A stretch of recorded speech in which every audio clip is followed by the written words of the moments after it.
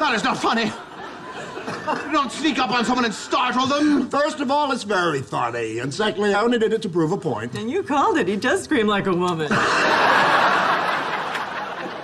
I did not scream like a woman. It was a manly, throaty wail.